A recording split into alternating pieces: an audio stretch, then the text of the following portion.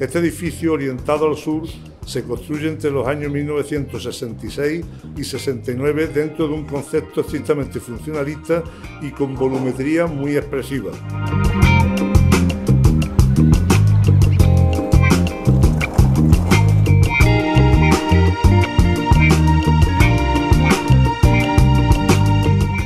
Hoy para la imposición de una placa distintiva al edificio del Hospital Provincial de Córdoba, obra de los dos arquitectos mencionados, Rafael Lao y Gerardo Olivares James, como reconocimiento a su interés arquitectónico dentro del movimiento moderno, partiendo este reconocimiento de una elección realizada por el Colegio Oficial de Arquitectos de Córdoba sobre un catálogo elaborado por la Fundación Docomomo Ibérico, en el que se recogen las obras más significativas que dentro de este movimiento moderno se han desarrollado durante los años desde 1925 hasta finales de los 60.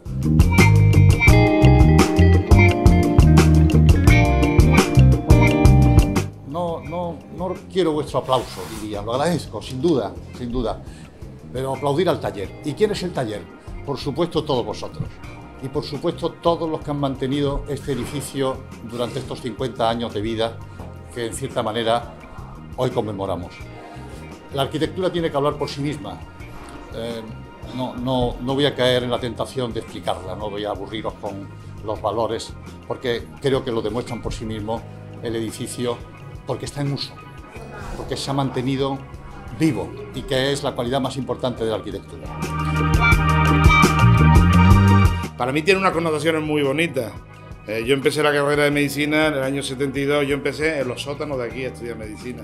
Todo lo hicimos aquí, con esos maestros, esos poppers de la sanidad de aquellos, de aquellos tiempos que ante ellos me descubro. Estamos celebrando los 50 años, 50 años no es nada. Cuando tú entras por aquí y yo estoy acostumbrado ahora a ir a muchos sitios. Cuando veo alguno, el deterioro que tiene, cuánto tiempo tiene, tiene 40, 45, 50. Macho, cuando tú vienes aquí dices, aquí queda mucha mili todavía. ¿eh? Aquí tenemos hospital para muchísimo tiempo. Hospital para, muchísimo tiempo y, y para formación de muchísimos profesionales. Desde aquí agradecerle la visión futurista de los arquitectos de aquella época.